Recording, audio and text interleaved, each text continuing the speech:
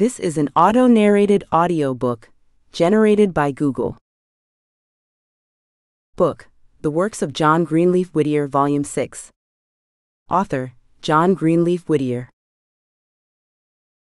Topic Old Portraits and Modern Sketches. Inscribed as follows when first collected in book form.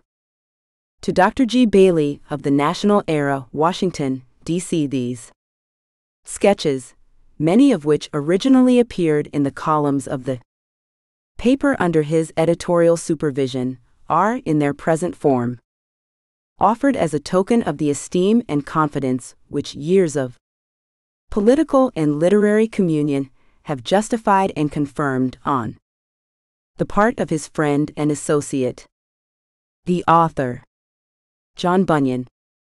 Wouldst see a man eye the clouds and hear him speak to thee? Who has not read Pilgrim's Progress?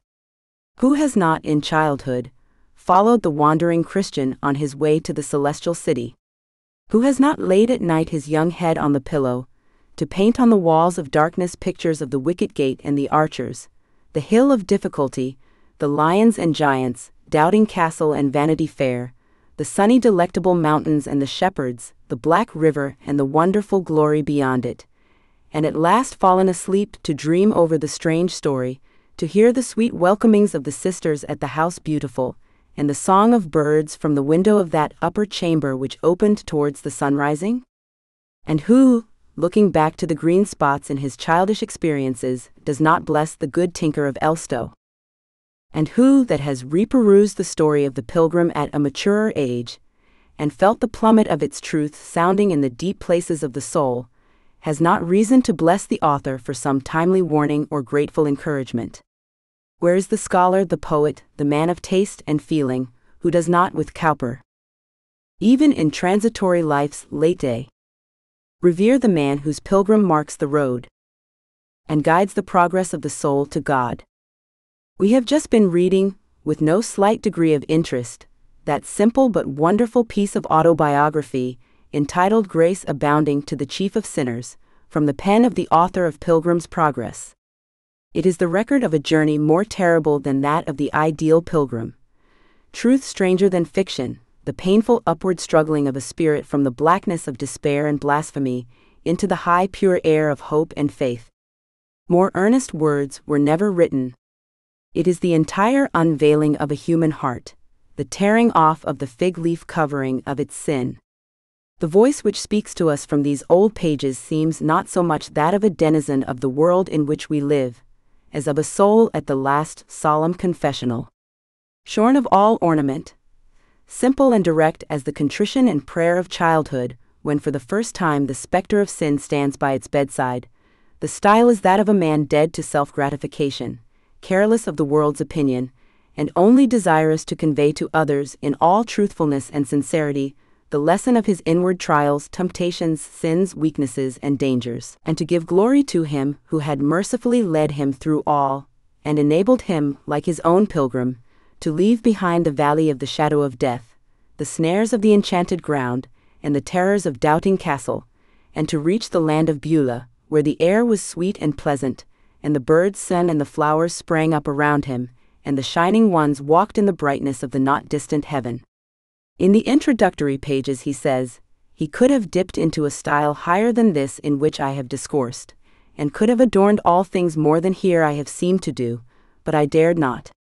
God did not play in tempting me, neither did I play when I sunk as it were into a bottomless pit, when the pangs of hell took hold on me, wherefore I may not play in relating of them but be plain and simple, and lay down the thing as it was.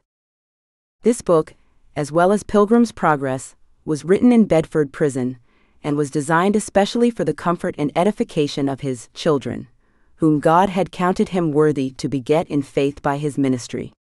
In his introduction, he tells them that, although taken from them and tied up, sticking as it were between the teeth of the lions of the wilderness, he once again, as before, from the top of Shenir and Hermon, so now, from the lion's den and the mountain of leopards, would look after them with fatherly care and desires for their everlasting welfare.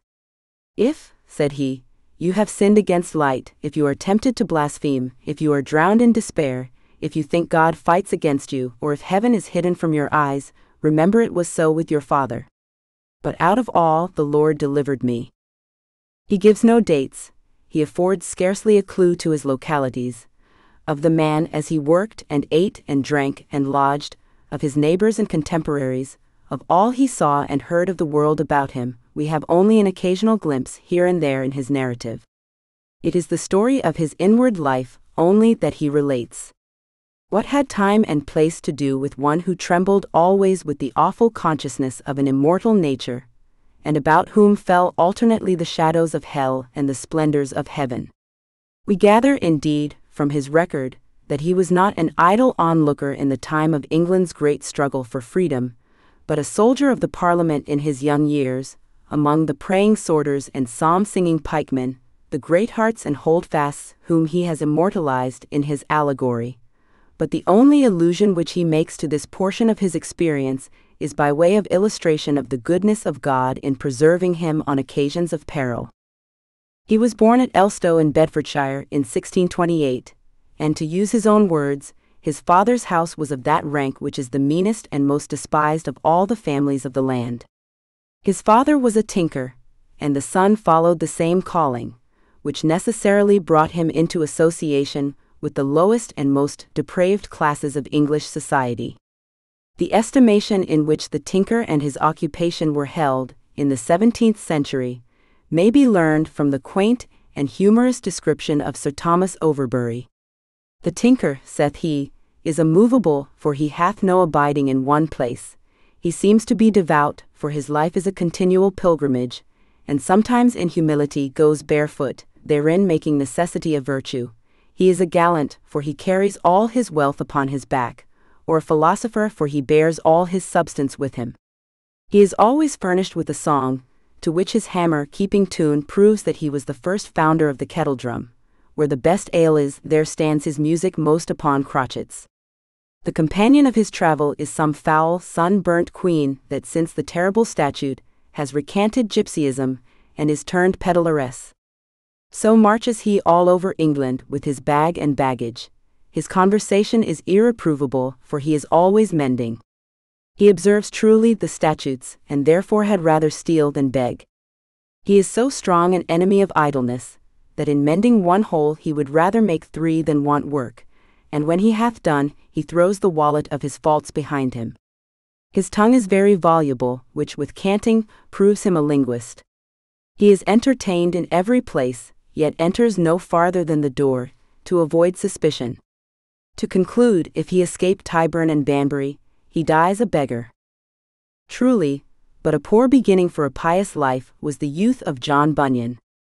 As might have been expected, he was a wild, reckless, swearing boy, as his father doubtless was before him.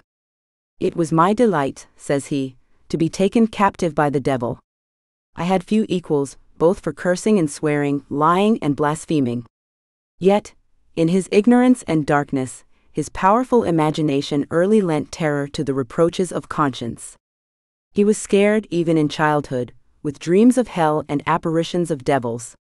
Troubled with fears of eternal fire, and the malignant demons who fed it in the regions of despair, he says that he often wished either that there was no hell, or that he had been born a devil himself that he might be a tormentor rather than one of the tormented.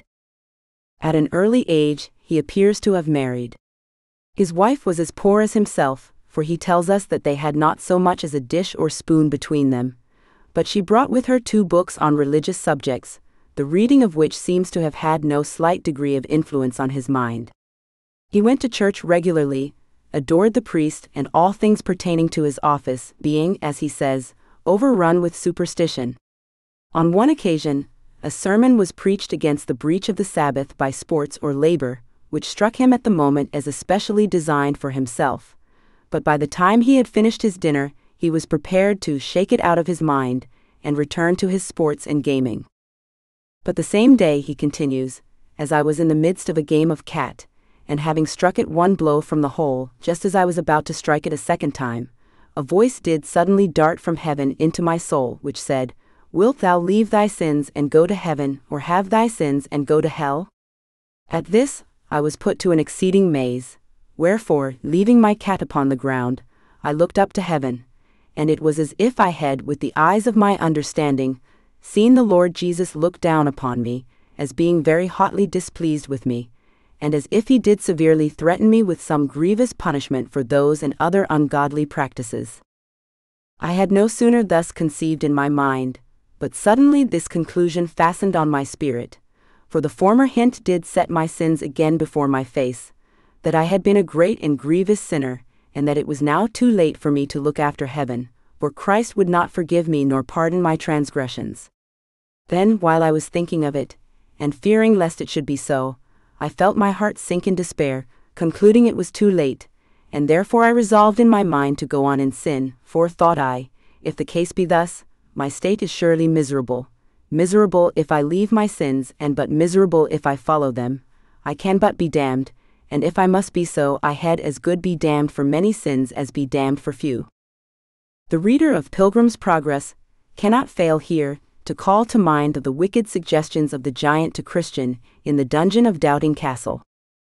I returned, he says, desperately to my sport again, and I well remember that presently this kind of despair did so possess my soul, that I was persuaded I could never attain to other comfort than what I should get in sin, for heaven was gone already, so that on that I must not think. Wherefore I have found within me great desire to take my fill of sin, that I might taste the sweetness of it, and I made as much haste as I could to fill my belly with its delicates, lest I should die before I had my desires, for that I feared greatly. In these things I protest before God, I lie not, neither do I frame this sort of speech. These were really strongly and with all my heart my desires, the good Lord, whose mercy is unsearchable, forgive my transgressions. One day, while standing in the street, cursing and blaspheming, he met with a reproof which startled him. The woman of the house in front of which the wicked young tinker was standing, herself, as he remarks, a very loose, ungodly wretch, protested that his horrible profanity made her tremble, that he was the ungodliest fellow for swearing she had ever heard, and able to spoil all the youth of the town who came in his company. Struck by this wholly unexpected rebuke, he at once abandoned the practice of swearing, although previously he tells us that he had never known how to speak, unless he put an oath before and another behind. The good name which he gained by this change was now a temptation to him. My neighbors, he says, were amazed at my great conversion from prodigious profaneness to something like a moral life and sober man. Now therefore they began to praise, to commend, and to speak well of me both to my face and behind my back. Now I was, as they said, become godly, now I was become a right honest man. But oh, when I understood those were their words and opinions of me, it pleased me mighty well, for though as yet I was nothing but a poor painted hypocrite, yet I loved to be talked of as one that was truly godly. I was proud of my godliness, and indeed I did all I did either to be seen of or well spoken of by men, and thus I continued for about a twelvemonth or more. The tyranny of his imagination at this period is seen in the following relation of his abandonment of one of his favorite sports. Now you must know that before this I had taken much delight in ringing, but my conscience beginning to be tender, I thought such practice was but vain, and therefore forced myself to leave it. Yet my mind hankered, wherefore I would go to the steeple house and look on, though I durst not ring. But I thought this did not become religion neither, yet I forced myself and would look on still. But quickly after, I began to think, how if one of the bells should fall? Then I chose to stand under a main beam that lay overthwart the steeple from side to side, thinking here I might stand sure. But then I thought again, should the bell fall with a swing, it might first hit the wall, and then rebounding upon me might kill me for all this beam. This made me stand in the steeple door, and now, thought I, I am safe enough, for if a bell should then fall, I can slip out behind these thick walls and so be preserved notwithstanding. So after this, I would yet go to see them ring, but would not go any farther than the steeple door. But then it came in my head, how if the steeple itself should fall? And this thought, it may, for aught I know when I stood and looked on, did continually so shake my mind, that I durst not stand at the steeple door any longer, but was forced to flee, for fear the steeple should fall upon my head. About this time, while wandering through Bedford in pursuit of employment, he chanced to see three or four poor old women sitting at a door in the evening sun, and drawing near them, heard them converse upon the things of God, of his work in their hearts, of their natural depravity, of the temptations of the adversary, and of the joy of believing, and of the peace of reconciliation. The words of the aged women found a response in the soul of the listener. He felt his heart shake, to use his own words, he saw that he lacked the true tokens of a Christian. He now forsook the company of the profane and licentious, and sought that of a poor man who had the reputation of piety, but to his grief, he found him a devilish ranter, given up to all manner of uncleanness. He would laugh at all exhortations to sobriety, and deny that there was a God, an angel, or a spirit. Neither, he continues, was this man only a temptation to me, but, my calling lying in the country, I happened to come into several people's company, who, though strict in religion formerly, yet were also drawn away by these ranters. These would also talk with me of their ways, and condemn me as illegal and dark, pretending that they only had attained to perfection, that they could do what they would and not sin. Oh, these temptations were suitable to my flesh, I being but a young man, and my nature in its prime, but God, who had, as I hope, designed me for better things, kept me in the fear of his name, and did not suffer me to accept such cursed principles. At this time he was sadly troubled to ascertain whether or not he had that faith which the Scriptures spake of. Traveling one day from Elstow to Bedford, after a recent rain, which had left pools of water in the path, he felt a strong desire to settle the question by commanding the pools to become dry, and the dry places to become pools. Going under the hedge, to pray for ability to work the miracle, he was struck with the thought that if he failed, he should know indeed that he was a castaway, and give himself up to despair. He dared not attempt the experiment, and went on his way to use his own forcible language, tossed up and down between the devil and his own ignorance. Soon after, he had one of those visions which foreshadowed the wonderful dream of his pilgrim's progress. He saw some holy people of Bedford on the sunny side of an high mountain, refreshing themselves in the pleasant air and sunlight, while he was shivering in cold and darkness, amid snows and never melting ices, like the victims of the Scandinavian hell. A wall compassed the mountain, separating him from the blessed with one small gap or doorway, through which, with great pain and effort, he was at last enabled to work his way into the sunshine and sit down with the saints in the light and warmth thereof. But now a new trouble assailed him like Milton's metaphysical spirits who sat apart. And reasoned of foreknowledge, will, and fate, he grappled with one of those great questions which have always perplexed and baffled human inquiry, and upon which much has been written to little purpose. He was tortured with anxiety to know whether, according to the Westminster formula, he was elected to salvation or damnation. His old adversary vexed his soul with evil suggestions and even quoted scripture to enforce them. It may be you are not elected, said the tempter, and the poor tinker thought the supposition altogether too probable. Why then, said Satan, you had as good leave off and strive no farther, for if indeed you should not be elected and chosen of God, there is no hope of your being saved, for it is neither in him that willeth nor in him that runneth, but in God who showeth mercy. At length, when, as he says, he was about giving up the ghost of all his hopes, this passage fell with weight upon his spirit. Look at the generations of old, and see did ever any trust in God, and were confounded? Comforted by these words, he opened his Bible, took note them, but the most diligent search and inquiry of his neighbors failed to discover them. At length, his eye fell upon them in the apocryphal book of Ecclesiasticus.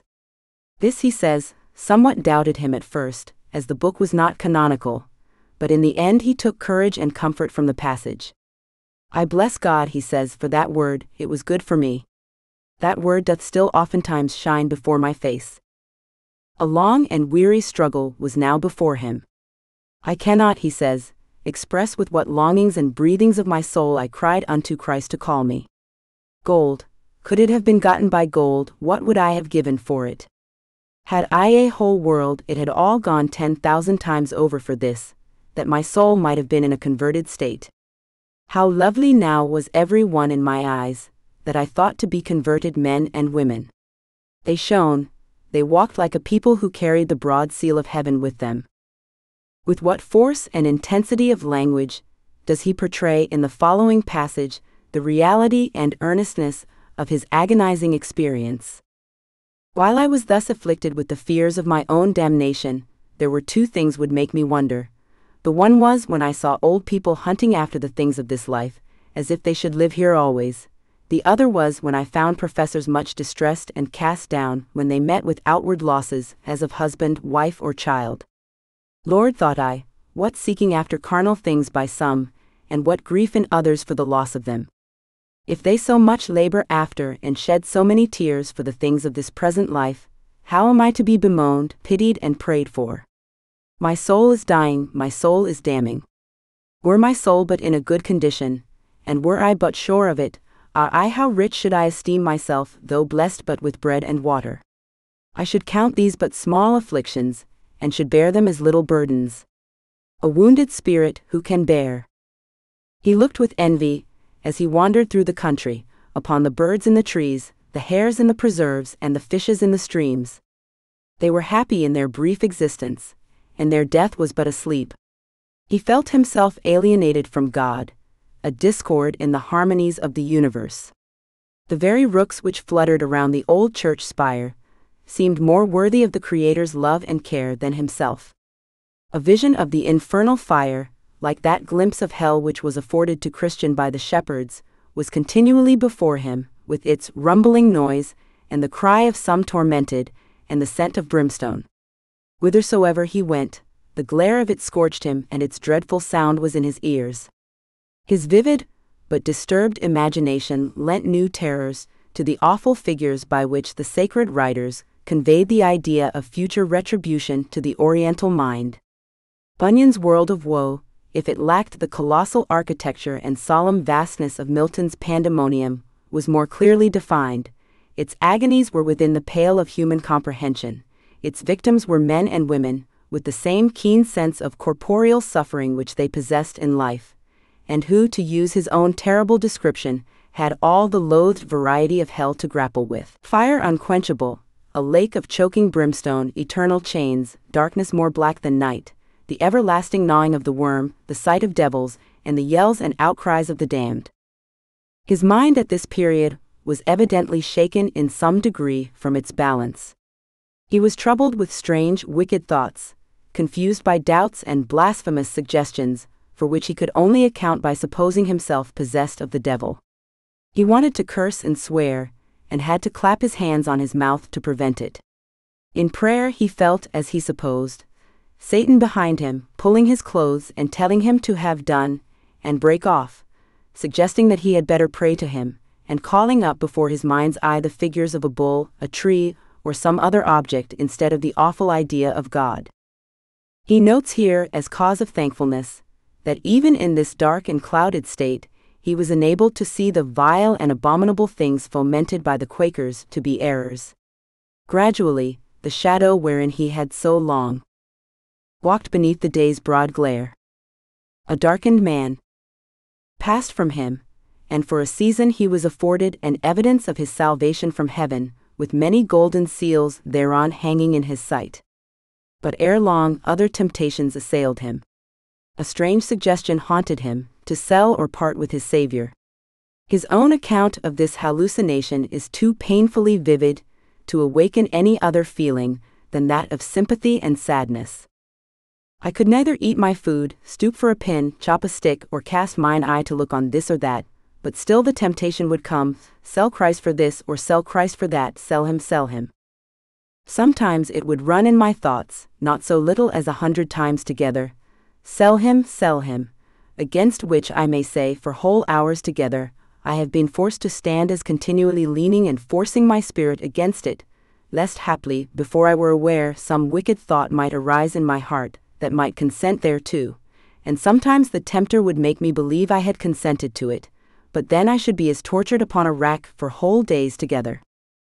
This temptation did put me to such scares, lest I should at some times, I say, consent thereto, and be overcome therewith, that by the very force of my mind, my very body would be put into action or motion by way of pushing or thrusting with my hands or elbows, still answering as fast as the destroyer said, Sell him. I will not, I will not, I will not, no, not for thousands, thousands, thousands of worlds, thus reckoning lest I should set too low a value on him, even until I scarce well knew where I was or how to be composed again. But to be brief, one morning as I did lie in my bed, I was, as at other times, most fiercely assaulted with this temptation to sell and part with Christ, the wicked suggestion still running in my mind sell him, sell him, sell him, sell him, sell him as fast as a man could speak against which also in my mind as at other times I answered, No, no, not for thousands, thousands, thousands, at least twenty times together. But at last, after much striving, I felt this thought pass through my heart, Let him go if he will, and I thought also, that I felt my heart freely consent thereto. Oh, the diligence of Satan! Oh, the desperateness of man's heart! Now was the battle won, and down fell I as a bird that is shot from the top of a tree into great guilt and fearful despair. Thus getting out of my bed, I went moping into the field, but God knows with as heavy a heart as mortal man, I think, could bear, where, for the space of two hours, I was like a man bereft of life, and as now past all recovery, and bound over to eternal punishment. And withal that scripture did seize upon my soul, or profane person as Esau, who for one morsel of meat sold his birthright, for ye know how that afterward, when he would have inherited the blessing, he was rejected, for he found no place for repentance, though he sought it carefully with tears. For two years and a half, as he informs us, that awful scripture sounded in his ears like the knell of a lost soul. He believed that he had committed they unpardonable sin. His mental anguish was united with bodily illness and suffering. His nervous system became fearfully deranged, his limbs trembled, and he supposed this visible tremulousness and agitation to be the mark of Cain.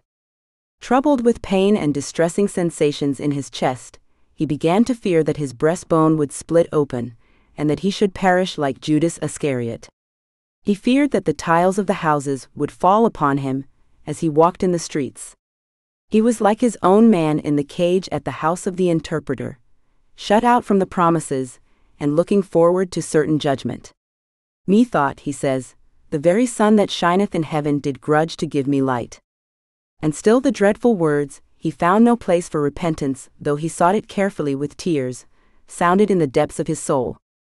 They were, he says, like fetters of brass to his legs, and their continual clanking followed him for months. Regarding himself elected and predestined for damnation, he thought that all things worked for his damage and eternal overthrow, while all things wrought for the best, and to do good to the elect and called of God unto salvation. God and all his universe had, he thought, conspired against him.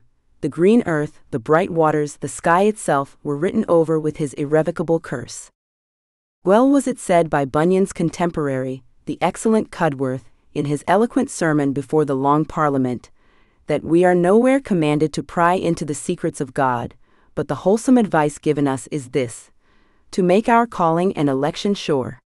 We have no warrant from Scripture to peep into the hidden rolls of eternity, to spell out our names among the stars. Must we say that God sometimes, to exercise his uncontrollable dominion, delights rather in plunging wretched souls down into infernal night and everlasting darkness? What then, shall we make the God of the whole world? Nothing but a cruel and dreadful Erinyes, with curled fiery snakes about his head and firebrands in his hand, thus governing the world. Surely this will make us either secretly think there is no God in the world, if he must needs be such, or else to wish heartily there were none. It was thus at times with Bunyan. He was tempted in this season of despair to believe that there was no resurrection and no judgment. One day, he tells us, a sudden rushing sound as of wind or the wings of angels came to him through the window, wonderfully sweet and pleasant and it was as if a voice spoke to him from heaven words of encouragement and hope, which, to use his language, commanded for the time a silence in his heart to all those tumultuous thoughts that did use, like masterless hell hounds, to roar and bellow and make a hideous noise within him. About this time also some comforting passages of Scripture were called to mind, but he remarks that whenever he strove to apply them to his case, Satan would thrust the curse of Esau in his face and wrest the good word from him. The blessed promise, Him that cometh to me, I will in no wise cast out, was the chief instrumentality in restoring his lost peace. He says of it, If ever Satan and I did strive for any word of God in all my life, it was for this good word of Christ, he at one end and I at the other. Oh, what work we made! It was for this. We hope you enjoyed this preview. To continue listening to this audiobook on Google Play Books, use the link in the video description.